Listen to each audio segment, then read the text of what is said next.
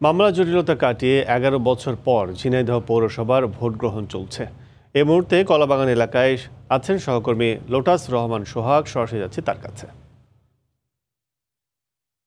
দীর্ঘ এগারো বছর পর মামলা জটিলতা সহ যে নানা জটিলতা সেটা কাটিয়ে ঝিনাইদহ পৌরসভার নির্বাচনের ভোট গ্রহণ আজ শুরু হয়েছে। সকাল আটটা থেকে কিন্তু যে পৌরসভার সাতচল্লিশ সাতচল্লিশটি ভোট কেন্দ্রের দুইশো ছাপ্পান্ন, পঁয়ষট্টিটি ভোট কক্ষে কিন্তু ভোটটা শুরু হয়েছে।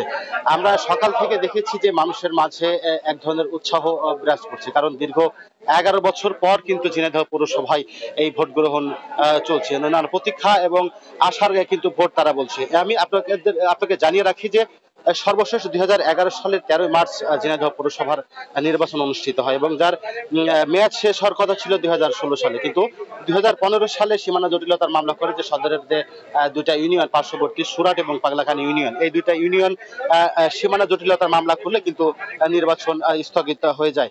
তো সর্বশেষ এই হাইকোর্টের আদেশে এই নির্বাচনের ডেট দিলে কিন্তু আবার নির্বাচন তফসিল ঘোষণা করলে পনেরো জন পৌরসভার ভোট গ্রহণের কথা ছিল। কিন্তু নির্বাচনী পরিবেশ বিঘ্নিত হওয়ার কারণে আদালত আদালতের আদেশে বারো জন জেনেদা পৌরসভার নির্বাচন স্থগিত, আবারও স্থগিত করে। এরপর থেকে নির্বাচনে ভোট গ্রহণ বন্ধ ছিল।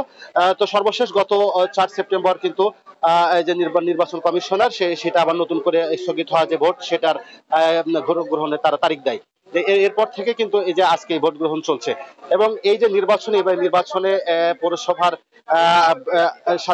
যে সাতচল্লিশটি ভোট কেন্দ্রে এখানে বিরাশি হাজার ছয়শো পঁচানব্বই জন ভোটার তাদের ভোটাধিকার প্রয়োগ করবেন।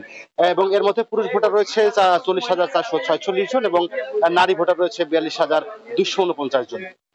এখানে মেয়র পদে চারজন প্রতিদ্বন্দ্বিতা করছেন এবং কাউন্সিলর পদে, সাধারণ কাউন্সিলর পদে চৌষট্টি জন এবং সংরক্ষিত নারী আসনে উনিশ জন প্রতিদ্বন্দ্বিতা করছে। এবং সকাল থেকে আমরা, আমি দেখেছি যে এই ভোটার উপস্থিতি কিছুটা কিছুটা কম হলেও কিন্তু মানুষের মাঝে উৎসাহ বিরাজ করছে। দীর্ঘদিন পরে ভোট দিতে পেরে এবং ইভিএম এর মাধ্যমে ভোট দিতে পেরে কিন্তু তাদের মাঝে একটা উৎসাহ বিরাজ করছে।